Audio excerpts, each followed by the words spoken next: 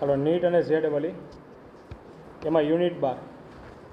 બીજી મેથડ છે ઓહોમનો નિયમ. હવે એના આધારિત સેવન્ટી ફોર, ચિમ્મોતેરમાં ક્રમનો એમસીક્યુ. રકમ આપેલી છે એક મીટર લાંબા અને ઝીરો પોઈન્ટ છ સેન્ટીમીટર વ્યાસના સળિયાનો અવરોધ. આઠ ગુણ્યા દસની માઇનસ ત્રણ ઘાત ઓહમ છે. હવે સમાન દ્રવ્યમાંથી બનાવેલ બે સેન્ટીમીટર વ્યાસ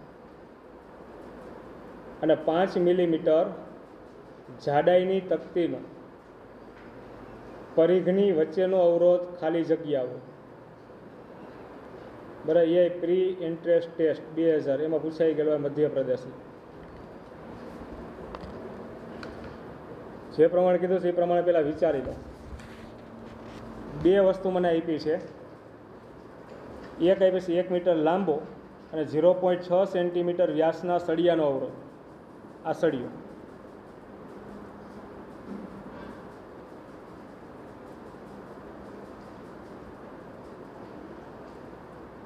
બરાબર પ્રવાહ આ બાજુ છે. એની લંબાઈ આપીશ મને એક મીટર. અને આડછેદનો વ્યાસ આપ્યો છે એટલે હું તો ત્રિજ્યા જ લખીશ અહીંયા. ત્રિજ્યા આર બરાબર કેટલું છે? ઝીરો પોઈન્ટ ત્રણ સેન્ટીમીટર. તો આનો અવરોધ આપ્યો છે. આ તારનો. મેળવવાનું નથી, લઈ જ લેવાનું છે. કેટલો આપ્યો છે આઠ ગુણ્યા દસની માઇનસ ત્રણ ઘાત ઓહમ. આટલો અવરોધ આપ્યો છે.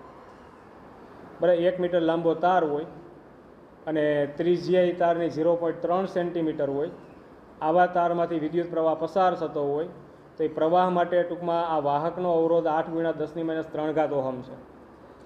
હવે સમાન દ્રવ્યમાંથી, આ જે દ્રવ્ય છે, એ જ દ્રવ્ય સમાન દ્રવ્યમાંથી બનાવે બે સેન્ટીમીટર વ્યાસ અને એક મિલીમીટર જાડાઈની તકતી. હવે તકતી લેવાની કીધી છે. તકતી એટલે રૂપિયાના સિક્કા જેવી રચના.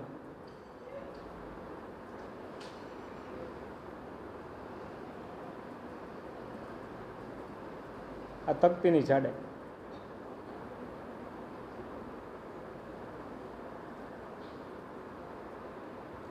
હવે શું કીધું કે સમાન દ્રવ્યમાંથી બનાવેલ બે સેન્ટીમીટર વ્યાસ. એટલે આની ત્રિજ્યા મને આપી છે એક સેન્ટીમીટર. વ્યાસ બે સેન્ટીમીટર, ત્રિજ્યા કેટલી થાય? એક સેન્ટીમીટર. અને એક મિલીમીટર જાડાઈ. આ જે જાડાઈ છે, એ એક મિલીમીટર છે. તકતીના પરિઘની વચ્ચેનો અવરોધ ખાલી જગ્યા હોય પરિઘ. હોય ને વર્તુળાકાર પરિઘ, બે પરિઘ હોય. એક આ સામેની બાજુ જો તો આ વર્તુળાકાર પરિઘ. પાછળના ભાગમાં જો પાછળ વર્તુળાકાર ભાગ હશે કે નહીં? આ બે પરિઘ. એની વચ્ચેનો અવરોધ. આ અવરોધ છે. બરાબર, પરિઘની વચ્ચેનો અવરોધ તો બે વર્તુળ બને, તકતી હોય એટલે થોડીક જાડી હોય. એક વર્તુળ આ બાજુ બનતું એક વર્તુળ પાછળના ભાગમાં બનતું હોય. બે વર્તુળનો પરિઘ તમે લેવો બરાબર, એની વચ્ચે એટલે એની જાડાઈ થાય. બરાબર જાડાઈમાં અવરોધ છે. તો જે દિશામાં જાડાઈ છે ને એ દિશામાં પ્રવાહ પસાર કરવો પડે. બરાબર? જાડાઈ જે દિશામાં છે એ દિશામાં પ્રવાહ જતો હોય. પ્રવાહમાં આમ જાય છે. તો આનો અવરોધ કેટલો થાય? એ મેળવવાનો છે. અને જાડાઈ છે ને હું ટી વડે દર્શાવી દઉં છું. અને અવરોધ છે અહીંયા આર ડેસ અહીંયા આર વડે દર્શાવ્યો સોરી ત્રીજી અહીંયા આર ડેસ અહીંયા આર વડે દર્શાવ્યું તો અહીંયા ડેસ વડે દર્શાવું બધું. અહીં ડેસ વગર ને ડેશ વડે.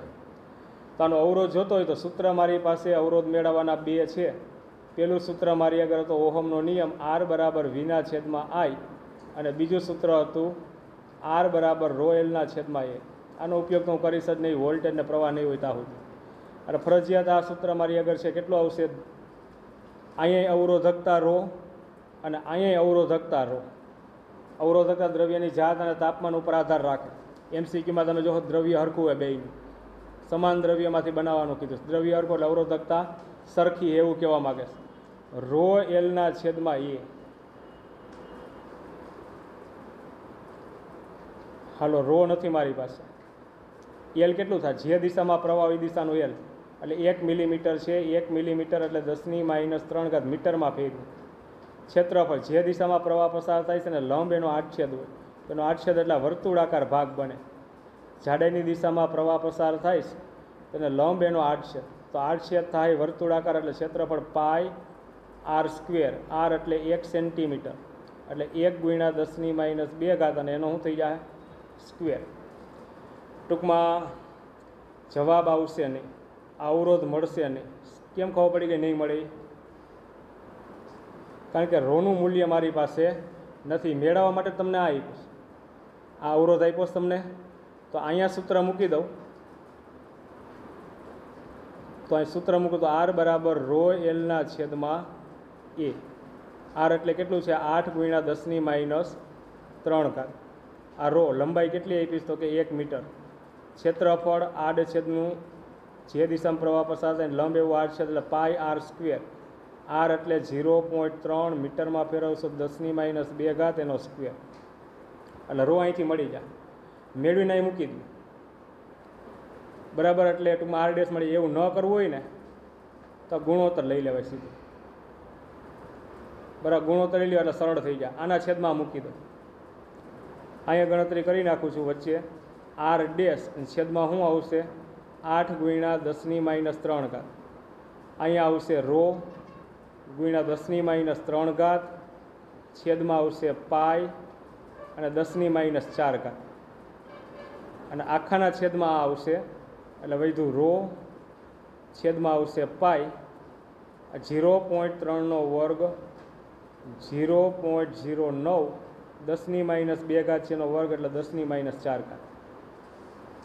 હાલો, કેટલું નીકળી જાય એમાંથી? તો એમાં તમે જુઓ તો એક તો પાય નીકળી જશે.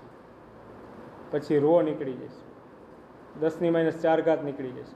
તો વધ્યું કેટલું? તો આ બાજુ વધ્યું આર ડેશ. આઠ ગુણ્યા દસની માઇનસ ત્રણ ઘાત. અને આ બાજુ છેદનો છેદ ઉપર. દસની માઇનસ ત્રણ ઘાત તો હતું. અને ઉપર કેટલું જાય? ઝીરો પોઈન્ટ ઝીરો નવ અને ગુણ્યા દસની, સોરી, ખાલી ઝીરો પોઈન્ટ ઝીરો નવ જ જા. હાલો, તો આર ડેસ બરાબર કેટલું થયું ભૂલાણું થયું ને, દસની માઇનસ ત્રણ ઘાત ને ઝીરો પોઈન્ટ ઝીરો નવ. હાલો, આને આ બાજુ લઈ લો, તો આઠ ગુણ્યા દસની માઇનસ ત્રણ ઘાત, આ દસની માઇનસ ત્રણ ઘાત, અને અહીંયા આવશે ઝીરો પોઈન્ટ ઝીરો નવ. આ બેનો ગુણાકાર ઝીરો પોઈન્ટ બોતેર અને ગુણ્યા દસની માઇનસ છ ઘાત.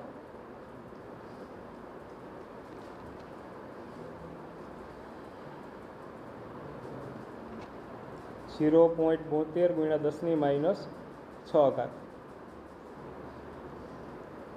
એટલે સાત પોઈન્ટ બે ગુણ્યા દસની માઇનસ સાત ઘાતો આપણો જવાબ. બરાબર ચિમ્મોતેરમો એમસીક્યુ અહીં પૂરો.